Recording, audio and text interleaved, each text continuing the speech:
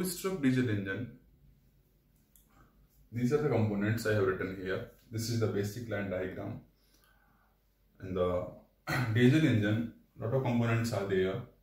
So first of all, we, we must know what is the use of the two-stroke engine on board the ship. The two-stroke diesel engine is mostly used for the propulsion purpose. Okay, this engine is used for the propulsion purpose. The propeller of the ship is rotated with the help of the two-stroke diesel engine.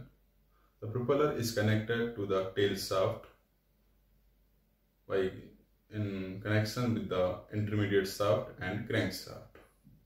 So there are three shafts are connected, tail shaft, intermediate shaft and crankshaft of the main engine. You can call it main shaft also. So main shaft is connected to the intermediate, intermediate connected to the tail shaft and the propeller is mounted on the tail shaft. So this engine is used for the propulsion purpose. We must know what are the components are used in this engine and what are the functions of these components. So we are going from top to bottom. What are the components, basics we must know, okay? So here, this is the line diagram we will start from the top. The first one is the rocker arm. So the use of the rocker arm is to operate the exhaust valve in the two-stroke engine. The rocker arm is operated by the push rod. Push rod is here. You can see from here to here is the push rod. Okay. So rocker arm is operated by the push rod. The push rod is operated by the camshaft. This is the camshaft is here so camshaft operates the push rod and push rod operates the rocker arm and rocker arm operates the exhaust valve of the engine. Okay. So these all things are interconnected. So how the camshaft is rotated? The camshaft is internally connected with the crankshaft of the engine by the chain drive or gear mechanism.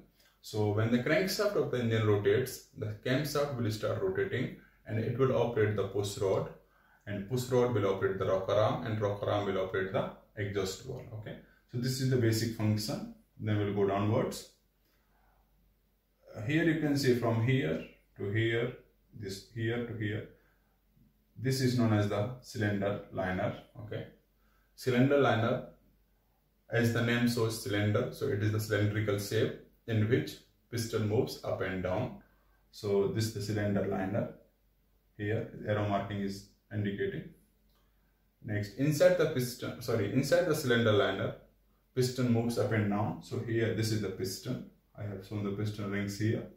So this is the piston, okay. Piston is connected with the piston rod. Okay, so this is the piston rod, this one. Uh, let me write it here. Okay, this is the piston rod. Okay piston rod, piston, cylinder liner. You can see here the dotted mark I have seen. So these are the dotted marks means the, this is the water, cooling water. So this portion is known as the jacket, okay? Jacket. Jacket is used to cool the cylinder because when the piston moves inside the cylinder liner, it generates some heats. So for the cooling purpose, we use the jacket. A jacket is filled with the water for the cooling purpose okay? This water we use for the fresh water generator okay? So this is the jacket. Here you can see some holes are there okay? So these holes are known as the ports. These ports are used for the scavenging purpose. What is the scavenging? We'll discuss later on. So these ports are used for the scavenging. So fresh air is going through these ports into the cylinder for the combustion purpose okay? Now we'll go downwards again. This is a piston rod and the piston rod is connected to the connecting rod. So this is known as the connecting rod. We can see here connecting rod is connected to the piston rod. And in the short form we also call it con rod. The piston rod is connected to the connecting rod through the crosshead okay so this is known as the crosshead bearing from here this, is the crosshead bearing. These two lines, this one and this one, these are the guides.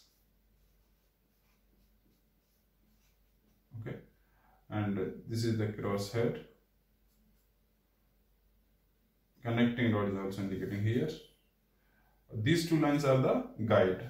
Guide means they are guiding the crosshead in the vertical direction. Okay, for the linear motion. When, when the piston moves up and down, it, it should not uh, misalign. So for that, crosshead is used. Crosshead is connecting to the piston rod and the connecting rod and the guide are used to keep the piston movement in the vertical direction. Okay. So this connecting rod is connected to the crankshaft. This center one is the crankshaft here crankshaft means the main shaft of the diesel engine. So this is the crankshaft. The crankshaft also has some parts, crank web, crank pin. So connecting rod is connected to the crank pin. Crank pin is a part of the crankshaft. Okay. So this uh, round circle is known as the bottom end bearing. Okay. This bearing is divided in the two halves.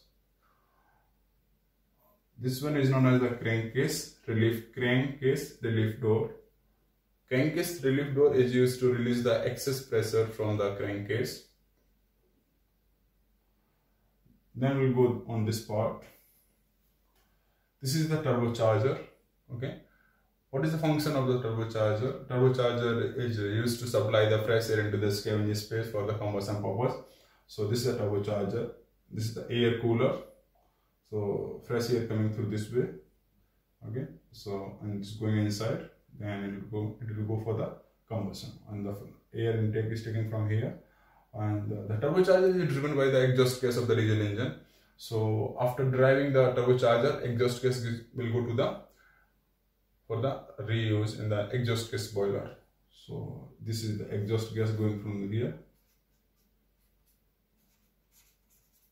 this exhaust wall is provided here. This is the these are the parts of the diesel engine. Then we'll go here. This is known as the bed plate.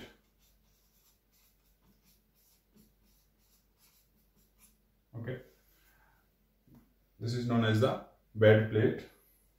Then you can see from here it is go like this. So this is the shape like a So from here to here, this body is known as the A-frame, bed plate, A-frame. On the top of the A-frame, the cylinder block is mounted. So this is known as the entablature, okay? So from here to here is known as the entablature. Entablature means outside body of the engine, not a cylinder liner, okay? So these are the basic parts of the diesel engine. Lot of parts are there, but here we are uh, looking after some important parts which are most useful for your exams purpose. I hope you all understand these parts. If you have any doubts, go to the comment box and let me know what are the doubts you have.